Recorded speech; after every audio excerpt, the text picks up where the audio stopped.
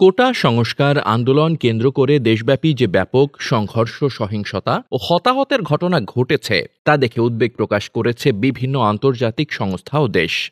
বিশেষজ্ঞরা বলছেন, দ্বাদশ জাতীয় সংসদ নির্বাচনের পর বাংলাদেশের পরিস্থিতিতে যে বড় ধরনের পরিবর্তন এসেছে, এ আন্দোলনের ঘটনা প্রবাহ থেকে তা মনে হচ্ছে। মানবাধিকার সংগঠনগুলোর হাতে এখন যেসব প্রমাণ রয়েছে, তা দিয়ে তারা খুব সহজেই নীতি নির্ধারকদের ওপর বিভিন্ন রকম চাপ প্রয়োগ করতে পারবে। বাংলাদেশের সাম্প্রতিক ঘটনায় নিরাপত্তা রক্ষাকারী বাহিনীর সরাসরি গুলি ব্যবহারের ঘটনায় গভীরভাবে উদ্বেগ প্রকাশ করেছে জাতিসংঘ। এক বিবৃতির মাধ্যমে তারা এই উদ্বেগ প্রকাশ করে। একইভাবে ঢাকায় ও নিউ ইয়র্কে বাংলাদেশ কর্তৃপক্ষকে সরাসরি এ উদ্বেগের কথা জানিয়ে দেওয়া হয়েছে। জাতিসংঘ মহাসচিবের মুখপাত্র স্টেফান ডুজারিক গত পঁচিশ জুলাই বৃহস্পতিবার নিউ ইয়র্কে নিয়মিত প্রেস ব্রিফিংয়ে অংশ নিয়ে এক প্রশ্নের জবাবে বলেন, বাংলাদেশে যা ঘটছে, যে গণগ্রেফতার ও হত্যাকাণ্ড হয়েছে তা আমরা দেখেছি। সব সহিংস কর্মকাণ্ডের তদন্ত স্বচ্ছ ও বিশ্বাসযোগ্যভাবে হওয়া উচিত।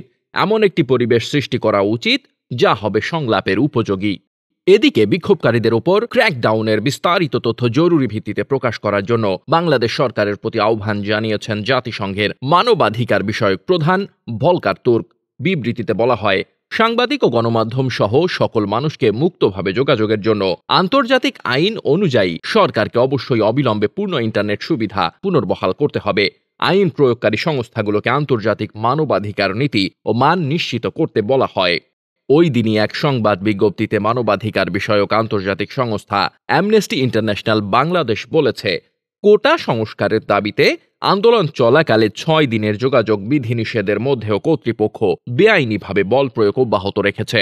সামাজিক মাধ্যমে পাওয়া তিনটি ভিডিও ফুটেজ বিশ্লেষণের ভিত্তিতে অ্যামনেস্টি ইন্টারন্যাশনালের বিজ্ঞপ্তিতে বলা হয়, প্রতিবাদ দমনে আইন শৃঙ্খলা রক্ষাকারী বাহিনী প্রাণঘাতী ও মৃদু প্রাণঘাতী অস্ত্রের ব্যবহার করেছে।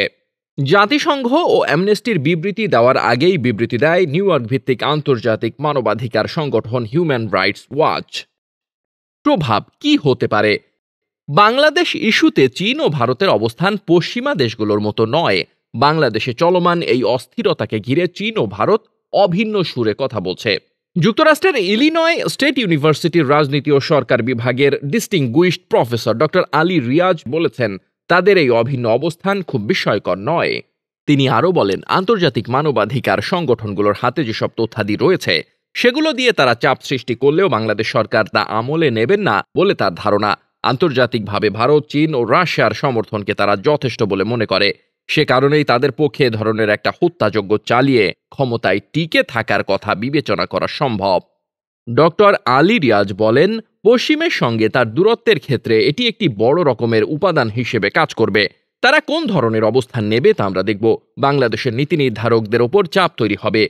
আজকে বা এই সপ্তাহের মাঝেই হবে তা বলছি না। আগামী কয়েক মাসের মধ্যে প্রভাব প্রতিক্রিয়া দেখতে পাবো বলে আমার ধারণা। যদিও ঢাকা বিশ্ববিদ্যালয়ের আন্তর্জাতিক সম্পর্ক বিভাগের অধ্যাপক ডক্টর ইমতিয়াজ আহমেদ মনে করেন, বহির্বিশ্বে বাংলাদেশে চলমান এই আন্দোলন নিয়ে আলাপ আলোচনা চললেও সেটি নিয়ে খুব বেশি গুরুত্ব না দিয়ে বাংলাদেশের উচিত অভ্যন্তরীণ বিষয়ে জোর দেওয়া। তিনি আরও বলেন, সরকার বলছে, শিক্ষার্থীদের এই আন্দোলনের মাঝে জঙ্গি ঢুকে পড়েছিল। গোটা আন্দোলনের মাঝে তারা ঢুকেছে। সেটি যদি তারা প্রমাণ করে দেখাতে পারে, তাহলে বহির্বিশ্বে বাংলাদেশকে নিয়ে সমালোচনা থাকবে না। বাংলাদেশের ভেতরের মানুষও বুঝতে পারবে।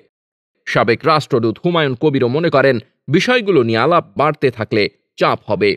গত নির্বাচন নিয়ে প্রশ্ন থাকার পরও পশ্চিমারা এ নিয়ে খুব বেশি আলোচনা করেনি, কিন্তু এবারের প্রেক্ষাপটকে ভিন্ন হিসেবে বর্ণনা করছেন তিনি। তিনি বলেন শুরুতে এটি ছিল ছাত্রদের অরাজনৈতিক আন্দোলন, পরে এটিকে রাজনীতিকরণ করা হয়েছে। আইন শৃঙ্খলা বাহিনী ঢুকে গেছে। বিশ্লেষকরা মনে করেন, আন্দোলন নিয়ে যে পরিস্থিতি তৈরি হয়েছে, সেটি শুরুতেই মোকাবেলা করতে পারত সরকার। ঢাকা বিশ্ববিদ্যালয়ের আন্তর্জাতিক সম্পর্ক বিভাগের শিক্ষক সামিয়া জামান বিবিসিকে বলেন, বহির্বিশ্বে বাংলাদেশের ইমেজ প্রশ্নের মুখে পড়ে গেছে। আইন শৃঙ্খলা রক্ষাকারী সংস্থাগুলো যে বল প্রয়োগ করেছে তার দরকার ছিল না। সরকার সিদ্ধান্ত নিতে দেরি করায় এ অবস্থা হয়েছে বলে তিনি মনে করেন। তিনি আরও বলেন, এর পেছনে সরকারের দায় আছে, তারা তা এড়াতে পারে না। রায় ঘোষণা আরও আগে করা যেত। রায়ের প্রক্রিয়া দীর্ঘায়িত করায় অন্যান্য গোষ্ঠী এখানে আসার সুযোগ পেয়েছে। তবে চীন ভারতের সঙ্গে পশ্চিমা দেশগুলোর অবস্থানের ফারাক সম্পর্কে তার বক্তব্য হচ্ছে, আমরা দুটো ভাগে নিজেদের ভাগ করে ফেলেছি। সকল দেশের সঙ্গে সুসম্পর্ক বজায় রাখার সিদ্ধান্ত থেকে আমরা সরে এসেছি। এই ইস্যুতে আশপাশের দেশগুলো যে অবস্থান নিচ্ছে, সেখানে তাদের স্বার্থ জড়িত। ডেস্ক রিপোর্ট বার্তা বাজার